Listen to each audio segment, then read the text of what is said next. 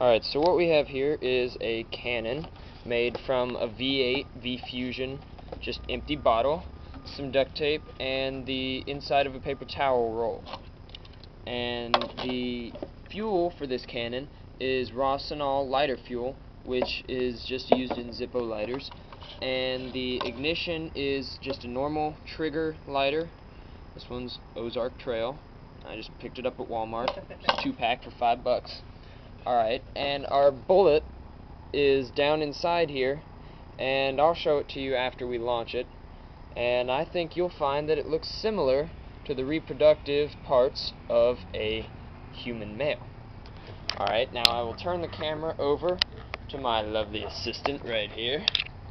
And he is going to film it as I attempt to launch this cannon.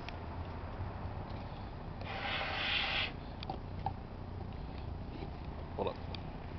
Okay, now when it goes, point the camera up in the sky once it fires. Ready? Let's see. Okay. One, two, three. There it is. Oh. And it landed on the roof. Alright, it was a successful launch. And I guess I can't quite show you the sperm rocket right now. We'll see if we can retrieve it, and then I'll try and show it to you. It's tinfoil. Alright. Yeah, it's made of tinfoil. That's it.